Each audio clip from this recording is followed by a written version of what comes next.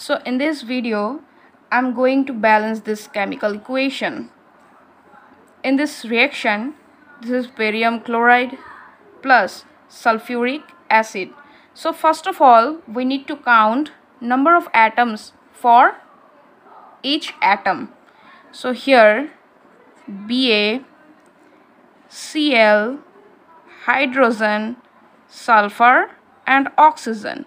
Similarly for RHS, Ba, Cl, hydrogen, sulfur and oxygen. Now count number of atoms. Here Ba 1, Cl 2, hydrogen 2, sulfur is 1 and oxygen is 4. Now for RHS, Ba 1, Cl 1, hydrogen 1, sulfur is 1 and oxygen is 4. So here you can see the equation is almost balanced.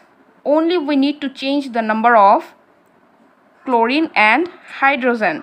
So here you can see if I put 2 in front of HCl the number is changed. So if I put 2 in front of HCl here you can see this 1 times of 2 give me 2 hydrogen and here 1 times of 2 give me 2 chlorine atom. So now the equation is balanced. Thanks for watching.